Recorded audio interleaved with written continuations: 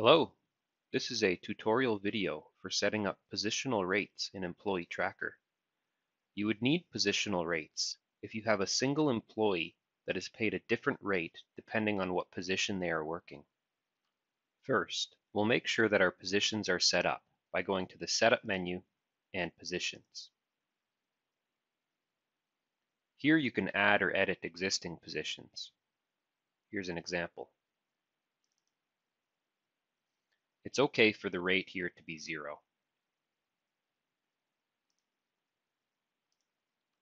Next, we'll go to the employee profile.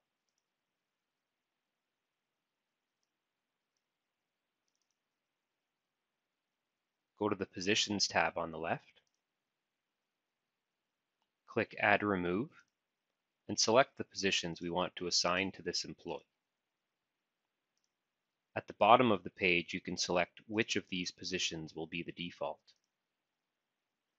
To assign the rates to these positions, select the position and click Details. Click Add,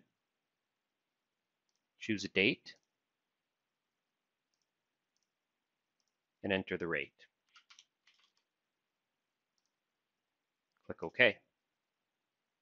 Choose the next position, click Details, Click Add, enter the date, enter the rate, and click OK. So now we have two positions assigned to this employee with two rates, one rate for each position. The last thing we need to do is go to the Rate History tab for this employee. At the bottom of the page, change the rate source to Take Positional if applied. By doing this, the regular employee rate seen here is no longer valid. The system will always look to the position for the rates that are set up here. We can, in fact, delete these to avoid confusion.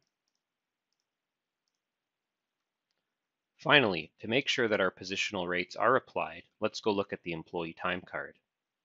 Exit, exit, click Edit Time and Attendance, choose the employee, and click OK. I'll maximize the screen. You can see in the position column the NA position applied. So we just want to change this to position 1 and position 2. So these are two separate days, two separate records, now with two different positions applied and two unique rates. So these rates will flow through with the payroll export. If you don't see the position column, click the View menu at the top and go to Columns and make sure that you have position checked here. You have successfully set up and assigned positional rates in Employee Tracker. Thank you for watching.